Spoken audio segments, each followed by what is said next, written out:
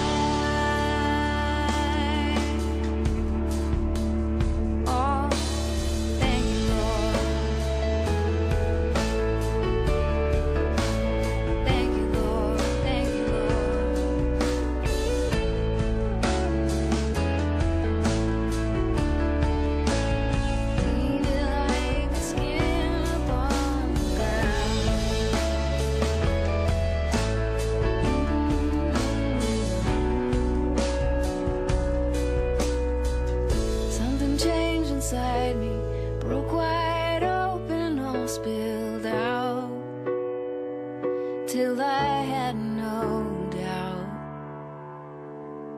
that something changed.